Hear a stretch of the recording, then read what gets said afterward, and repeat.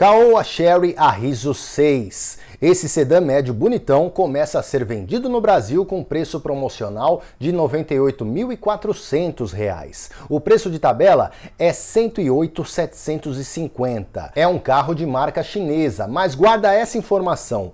Ele é produzido no Brasil, assim como os SUVs Tigo 5X e Tigo 7 e também o sedã Arriso 5. O Arriso 6 vem para agitar o segmento de sedãs médios. Vai brigar com Corolla, com Civic, Cruze, Jetta, Sentra, Cerato e companhia. Mas será que ele é melhor que os rivais? Será que chegou a hora de você trocar Corolla, Civic, Cruze e Jetta por um sedã de marca chinesa? Fala galera de carona, Leandro na área. A Caoa Sherry continua sua expansão no mercado brasileiro. O Arriso 6, que começa a ser vendido em julho, é o quinto modelo da marca no país. Ele se junta ao Arriso 5 e aos SUVs Tigo 2, Tigo 5X e Tigo 7. E tem mais novidade a caminho. A Caoa Sherry vai lançar em breve o Tigo 8, um SUV de 7 lugares. Mas o nosso papo aqui é sobre o Arriso 6, que é fabricado em Jacareí, no interior de São Paulo. Novo rival do Corolla, tem preço agressivo, vai brigar também com Civic, Cruze, Jetta. A Caoa Sherry, aliás, afirma que o principal adversário do Arriso 6 é o Jetta 1.4 TSI, que parte de 100 mil reais. É, te cuida, Jetão. Mas na boa, fala real pra mim. Você acha mesmo que o Arriso 6 tem chances contra todos esses caras que eu mencionei aqui? Calma que eu vou dizer minha opinião sobre isso, mas primeiro, já manda aquele joinha, capricha no like para ajudar sempre a manter o hype das notícias dos carros. Obrigado de coração por isso. Bora conhecer melhor o Arriso 6. O sedã tem motor 1.5 Turbo Flex de 150 cavalos e câmbio do tipo CVT, que simula 9 marchas. É o mesmo conjunto mecânico do Arriso 5, o sedã menor da marca. O torque desse motor é de 21,4 kgfm. É a mesma força do motor 2.0 do Corolla. Legal isso, né? Só que na comparação com o Jetta, o Arriso 6 perde. No Volks, o 1.4 entrega 25,5 kg de torque. E eu tô comparando com o Jetta porque é o carro que a Caoa Sherry tá mirando, né? Quer saber sobre o consumo do Arriso 5? Então vamos lá. De acordo com o Imetro, o sedã faz com gasolina 11 km por litro na cidade e 13,3 na estrada. Na descrição do vídeo você tem o consumo com etanol, confere lá. E mais pra frente, quando eu testar o carro, a gente confere também quais são os números no dia a dia. O mais comum comum, a gente sabe, é atingir na prática um consumo melhor que o declarado pelo Imetro. Vamos ver. Libera logo o carro aí pra gente, Caoa Sherry. Se liga agora nas dimensões do Arriso 6. Ele tem 4,67 metros de comprimento, 1,81 de largura, 1,49 de altura e 2,65 metros de entre-eixos. Comparado ao Corolla, o Arriso 6 é 4 centímetros maior, mas tem um entre-eixo 5 centímetros menor. Já o porta-malas, você está vendo aí, é bem maior que o do Corolla e disparado o maior do segmento.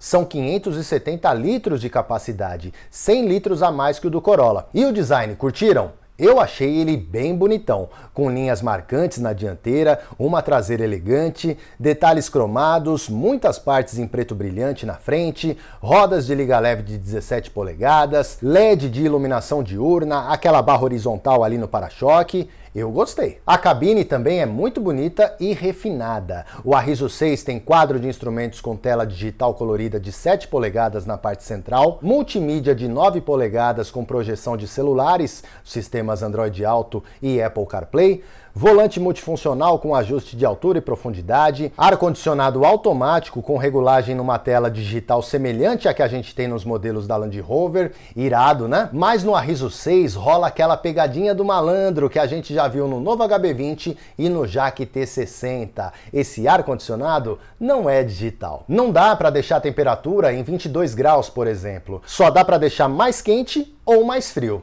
Aí não, né? O Arriso 6 também tem freio de estacionamento eletrônico com a função Brake Hold, acabamento com partes de toque macio, couro e alumínio escovado, bancos de couro, botão de partida do motor, modo esporte e econômico de pilotagem, além de partida remota do motor, chave presencial, teto solar e câmera de 360 graus, uma lista bem recheada. Lembrando que ele vai ser vendido em versão única, completona. No quesito segurança, destaque para os controles de tração e estabilidade com assistente de partida em rampa, seis airbags, freio a disco nas quatro rodas e piloto automático. Pena que não é o piloto automático adaptativo, aquele que mantém a distância para o carro da frente sem a necessidade do motorista acelerar ou frear. Isso a Riso 6 fica devendo. Bonitão, espaçoso, muito bem equipado e com preço, por enquanto, abaixo de 100 mil reais.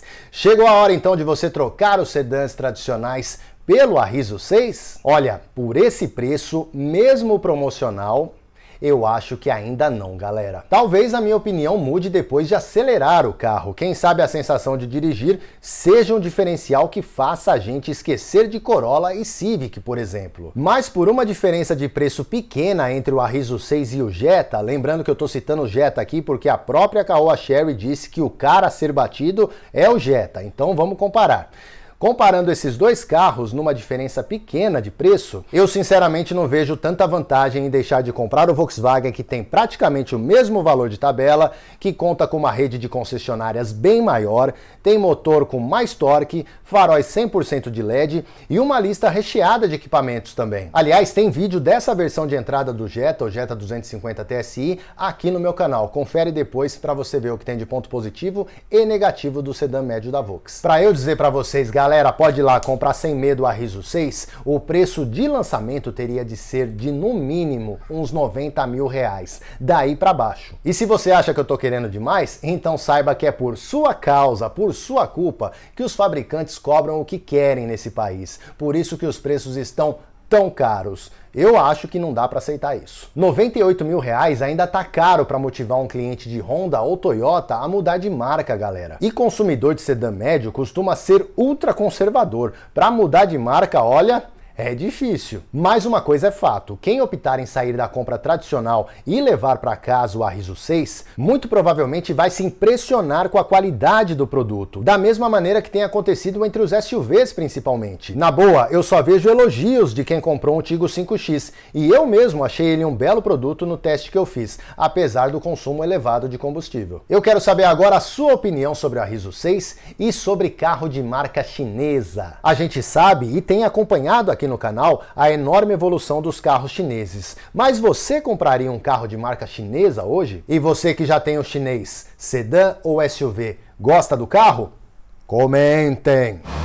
E esse foi mais um vídeo no De Carona com Leandro. Se você gostou, deixa seu like e não esquece, ó, clica aqui, se inscreve no canal, ativa o sininho porque eu vou sempre trazer novidades e muitos testes dos carros para vocês. Obrigado de coração por sua inscrição. Tamo junto sempre e até a próxima.